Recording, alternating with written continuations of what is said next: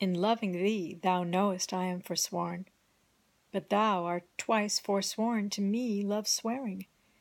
In act thy bed vow broke and new faith torn In vowing new hate after new love bearing. But why of two oaths breached do I accuse thee When I break twenty?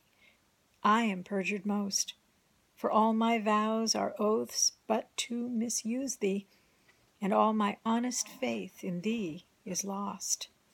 For I have sworn deep oaths of thy deep kindness, Oaths of thy love, thy truth, thy constancy, And to enlighten thee gave eyes to blindness, Or made them swear against the thing they see. For I have sworn thee fair, more perjured I To swear against the truth, so foul a lie.